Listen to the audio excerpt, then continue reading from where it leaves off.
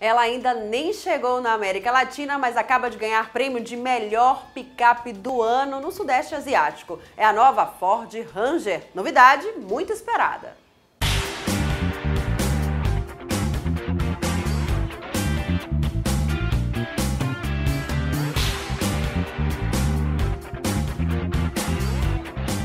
A Ford iniciou o lançamento da nova Ranger pelo Sudoeste Asiático, onde acaba de ser eleita a picape do ano por especialistas automotivos e consumidores da Tailândia, Malásia e Indonésia. Esse primeiro prêmio, numa região de mercado crescente, cada vez mais consumidoras de picapes, evidencia a aceitação da nova Ranger, que começa agora em 2016 a ser vendida em vários países ocidentais.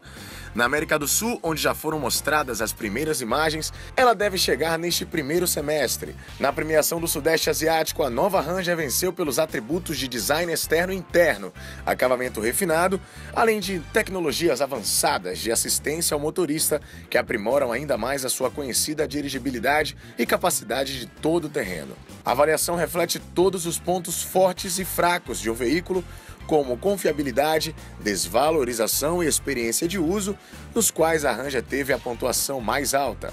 Para concorrer em nível nacional, o júri de cada país vota nos modelos oficialmente disponíveis para venda nos respectivos mercados. A comissão então seleciona como finalistas os três veículos mais votados. A Ford projetou a nova Ranger usando toda a experiência e tradição global no segmento de picapes para enfrentar ambientes extremos.